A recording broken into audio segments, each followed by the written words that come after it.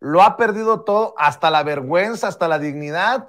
Y corrígeme si estoy equivocado, pero hoy el PRI está básicamente siguiendo el son que le toca el PAN, porque está impulsando eh, las iniciativas panistas, las iniciativas de derecha en el Estado de México, como armar a las mujeres en un Estado de México ya de por sí violento, eh, o exagero, Paco.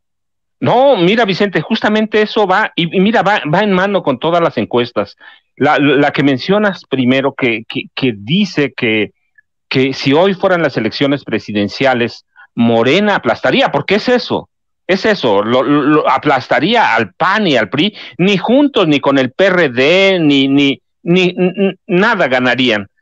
sería una, una, este, una derrota, pero histórica ni juntos no entienden lo que está pasando. Y luego Claudio X González, lo mismo, no entienden. Y mira, todo eso va porque eh, ayer hubo una condena que a mí me parece que debe resaltarse, que debe tomarse en cuenta mientras ah, y, en cuenta para entender por qué el PRI no entiende, por qué Alejandra del Moral no entiende lo que está pasando, ni Claudio, ni nada.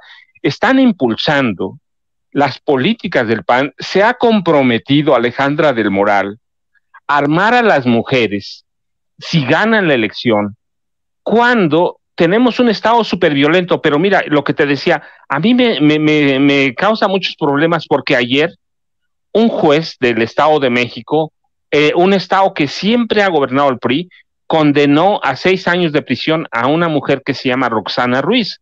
Es una indígena de 22 años de edad, jovencita, madre de un, de un menor de cuatro años, la condenó por asesinar en defensa propia, pero con exceso de legítima defensa, es decir, con exceso de violencia, a un tipo que la, que, la violó, que la agredió, que todo, y este, entonces, por un lado las condenas por recurrir a la violencia, pero por otro lado las vas a armar. Así que no entienden, a mí me parece que hay ahí algo muy extraño si te condenan porque agredes o porque en este caso matas a tu agresor cuando te está violando en legítima defensa, pero te condenan porque, porque haces uso excesivo de la violencia. Sí, ¿qué, qué, vas a decir? Me están violando, espérate, voy a medir qué tipo de violencia voy a ejercer para que no me condenen, pero y luego le dices, no hombre, ejerce la que quieras que yo te voy a armar. Hay algo muy extraño ahí, Vicente, es ilógico es muy relevante. Están pidiendo, mira, ¿qué, tipo de armas? Eh, ellos dicen no letales, ya hemos platicado, no hay armas no letales. En un país que tiene una frontera de 3.200 con, kilómetros con Estados Unidos, tenemos acceso a toda la tecnología.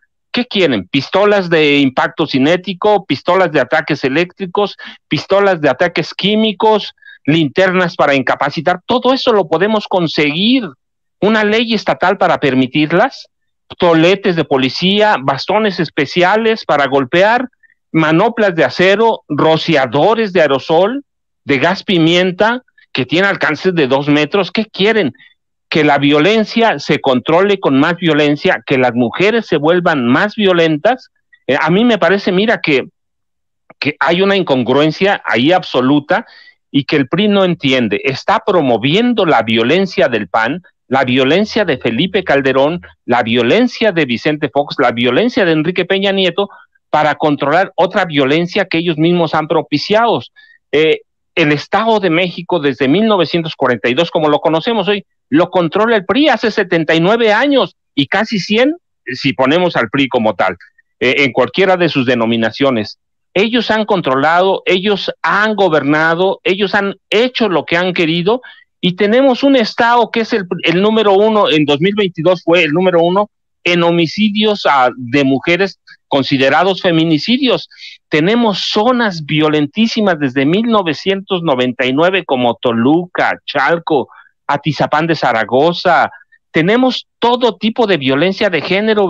Tenemos, mira, dos alertas de violencia de género contra las mujeres. La primera en 2015 por ah, la violencia feminicida en 11 municipios y la segunda en 2019. Y las quieres armar en vez de que eduques, en vez de que busques otras soluciones. En, si, no ha gobernado nadie, Vicente. A mí este caso verdaderamente me indigna, me indigna este caso de esta mujer, eh, de, de Roxana Ruiz, porque digo, les, les estás diciendo que las vas a armar para que maten. Dices, no es violento, no, hombre, e, este, para usar cualquier tipo de armamento, Vicente, aún estos, hay que tener cierta capacitación, hay que tener cierto entrenamiento. Soy hijo de un policía, sé cómo se usa eso. Entonces, hay que tener cierto entrenamiento. Si lo sacas sin entrenamiento, tu agresor te va a matar inmediato. Entonces, ¿qué estamos promoviendo? ¿Qué van a promover? Y es cuando yo te digo, todo se junta porque no entienden y la ciudadanía lo resiente. En el Estado de México, mira, por lo menos entre 60 y 70% no quieren que vuelva a gobernar el PRI. Y con estas medidas, con lo que dice Claudio X González, con lo que dice o con la adopción y la promesa de, de Alejandra del moral de promover el uso de armas a través de leyes estatales, a mí me da la impresión de que no saben qué están haciendo, no saben para dónde van y no entienden que, el, que sí entendemos que el PRI ha gobernado el Estado de México históricamente y que están a punto de perder, Vicente, justamente por eso, porque no entienden porque no saben lo que pasa y porque ellos promovieron la violencia, hay que ver los estados del PAN, cómo son de violentos. Claro. Entonces no entienden, no saben lo que está pasando y quieren meter al Estado de México en esa dinámica, Vicente. No entienden